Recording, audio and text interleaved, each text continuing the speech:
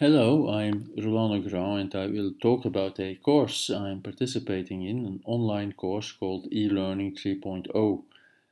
The course is facilitated by the Canadian education expert Stephen Downes and we he in fact is an, an expert in connectivism. What's connectivism anyway? Well, it's it's a theory and a practice um, about the fact that learning is a process of creating and shaping networks. And that is what we have been doing. We have been discussing, of course, what connectivism is all about. And then we went on talking about data and cloud and uh, other subjects such as graph, identity, recognition, assessment, community. And now we are here almost at the at the end of the course experience and agency. But this was very much also a practice of developing networks. And I will show you a bit about that. I created a, a blog especially for, for this course, but also maybe for other future connectivist courses called Learning with MOOCs using a hosting company. Reclaim Hosting, which is a very user-friendly uh, organization. They cater for educators and for institutions and uh, want to make it easy to own your own domain and, and web hosting. Uh, in fact, they do the web hosting and you own your domain. Uh, and it enabled me to, to create this WordPress blog. And I also used a plugin, uh, IndieWeb plugin, enabling this blog to communicate very in a very straightforward way with other blogs.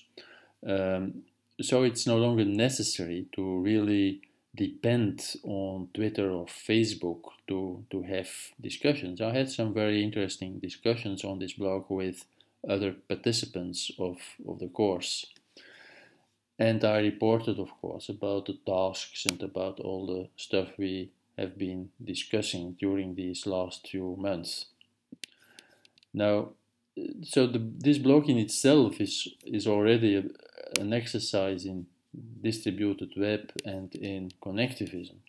But you can do more. You can, for instance, use the Beaker browser. This is the Beaker browser. It enables you to search the web, to bookmark stuff, but also to publish your own site. And this is what I did. And I created a very simple site here, a blog if you want, about the, my experiences in, in this course. But I must admit it, it was not that very easy. You have to create this using HTML or Markdown. There is no slick content management system. Uh, enabling you to, to create new blog posts. You, you really have to code it yourself. And also, if there's no one uh, really uh, sharing your your site and your own computer is switched off, well then your your site won't be visible. So you still need, if you want to be permanently available online, you still need a hosting company. So this is still very much a work in progress. The same applies for another thing we experimented with, IPFS, the Interplanetary File System, a peer-to-peer -peer hypermedia protocol to make the web faster and safer and more open. But you have to use the command line in order to to create, to, to, to be part of it.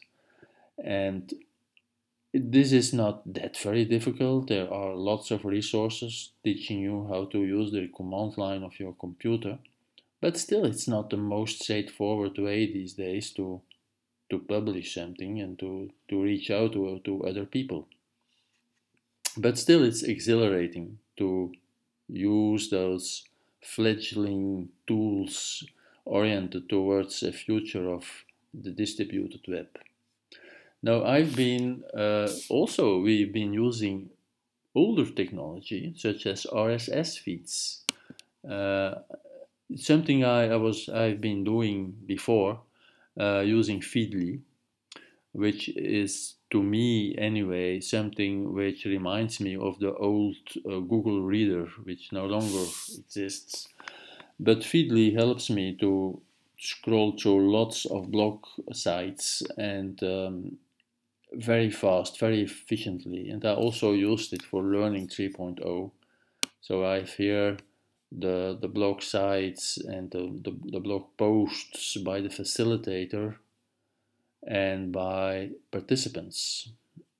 And if I find the blog very interesting, what I do, it was not in the course, but it's uh, something I, I do for quite some time now, is putting a social bookmark here in Diigo. You can find my social bookmarks. I'm Roland Legrand also at Diigo and most of my bookmarks are open and available and I use then the bookmarks, I tag them, I give them tags and I use them to write blog posts or columns.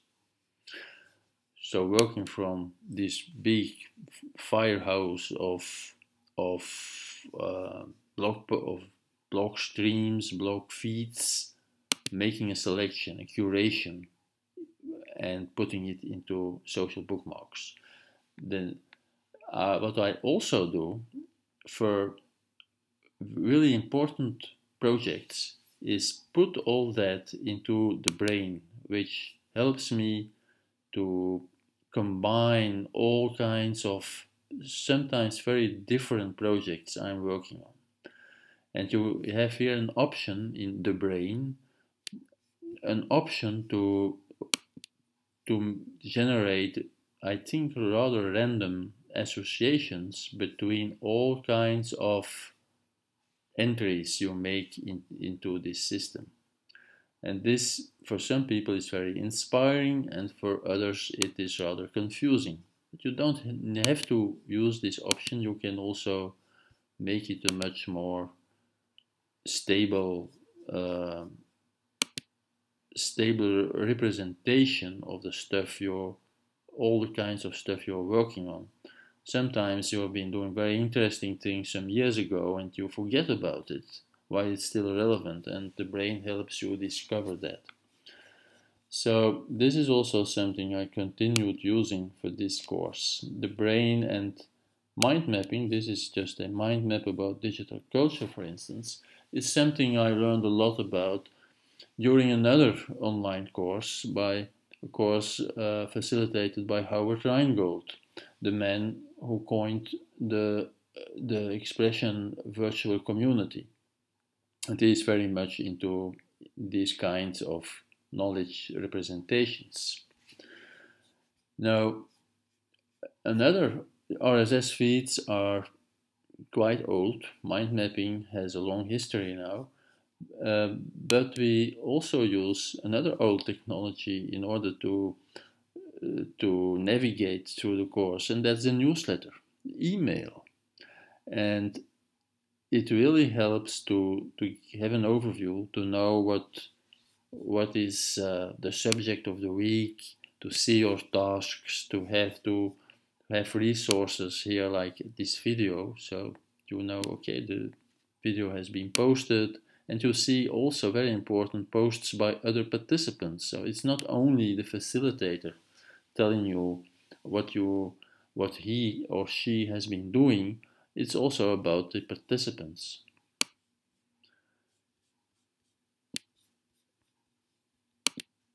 all of which does not mean that we did not use Twitter. We did use Twitter. We had a special hashtag for that. And uh, some of our fellow learners created art and posted it on, on Twitter. Uh, it's it's still a very it's a network with lots of people on it and it's still very useful to to have an idea of a real-time idea of what's happening in a in a course and in a network, a learning network. But of course, this all being about distributed web, we also used Mastodon. Mastodon is a kind of an alternative for Twitter, at least in some respects, and it it helps you to to have more privacy degrees in what you are doing. And it it um, has another feel another atmosphere than than twitter. So mastodon is also something which is worthwhile studying. And these are just some of the technologies and media techniques we have been using and discussing. There are others like virtualization uh, and the importance of virtualization for education.